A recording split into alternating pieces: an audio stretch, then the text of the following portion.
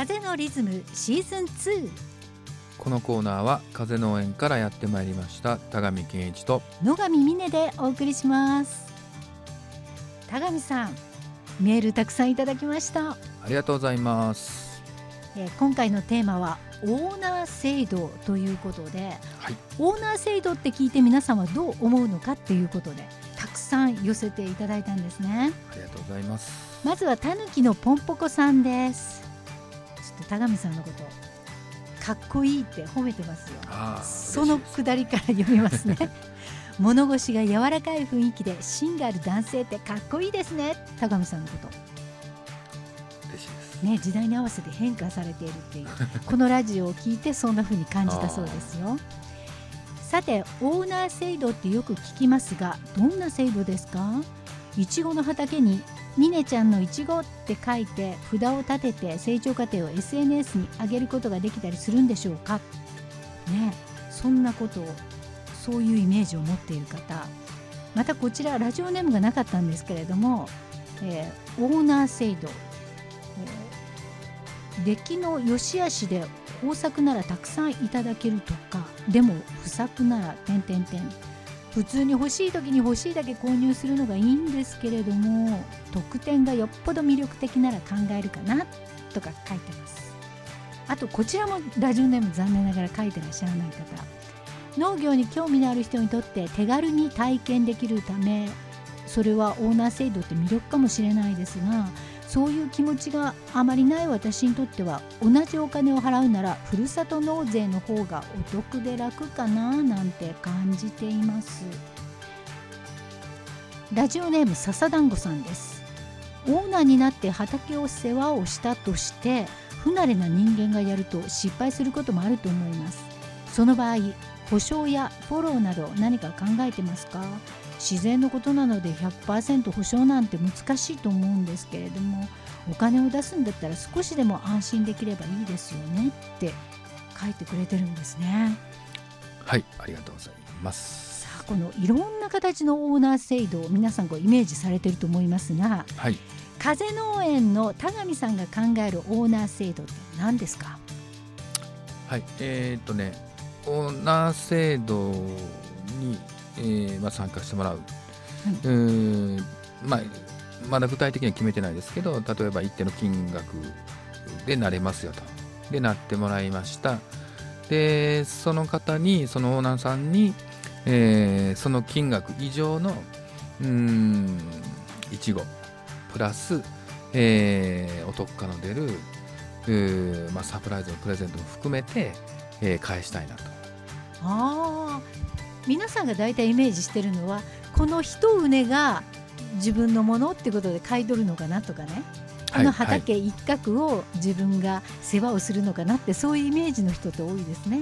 そうですね。今伺ったところそんな感じだったんですけど、その体験型も実はやりたいなと思うんですけどそうちょっといろいろルール作りとか今すぐこのシーズンから始めるにはちょっと大変かなっていうところで、えーまずは、えー何パターンかね金額も、えー提案してそれに対するリターン、うん、プラス、うん、アルファ、うんその、うん、あの金額以上のものを返していく。と。ということは普通買い物って物が届いてあ物が来てお金を払ってって感じじゃないですか。はいはい。じゃなくて先にお金を払いました。はい。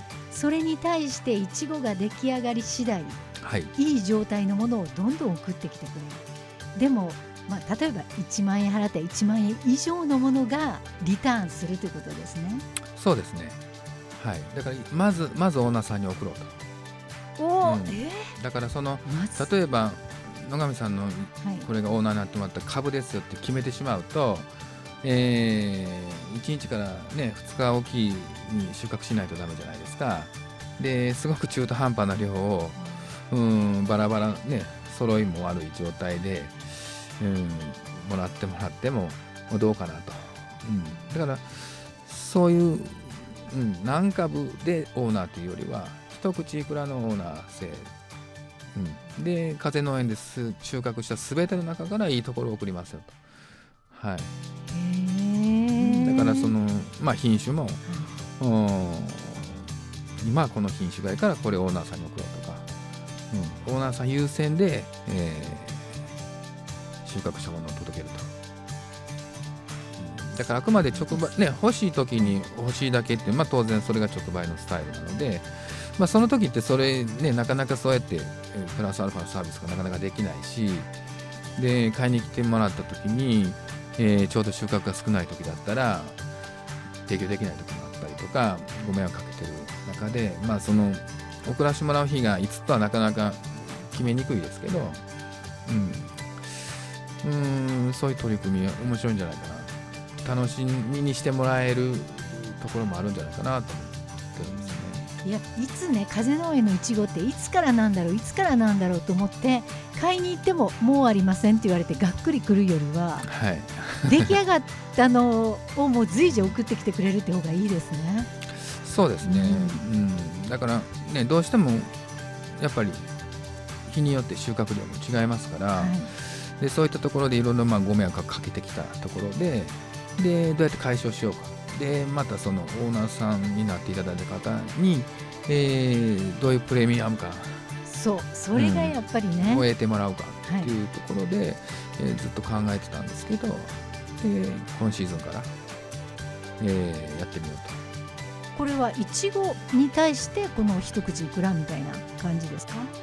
うんそうですね、まあ、まあうちでいう、えーう作付けするのが1万5000株ぐらいなんですけどそれに見合うオーナーさんの数をを上限にして募集しようと。はい、ほういそれいちごでまあいくらかっていう値段もねちょっと買いやすい値段に設定していただいてるんでしょうか？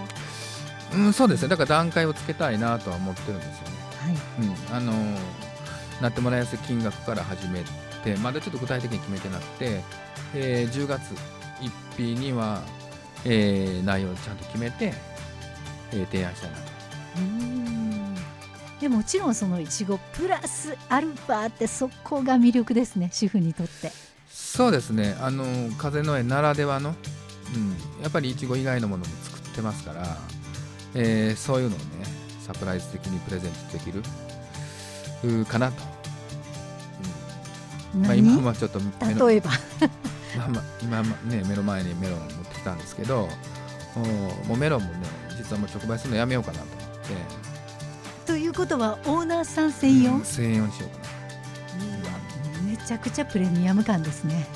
そうですね。だからそうそういうところで、うん、あのレア感っていうか、はい、うん、ちょっと他と違うぞっていう、うん、ところをね出していきたいな。うんなかなか手に入らないっていう風になってきますよね。そうですね、そうなんですか。たまには T シャツとかを安く買えるとか。風農園の T シャツ。そうそうですね。何かもはうそういう特典、オーナーさんならではの特典っていうのを考えていきたいなわかりました。またそれについてね皆さんいろいろご意見とかいただけたらいいなというふうに思っています。はい。はい。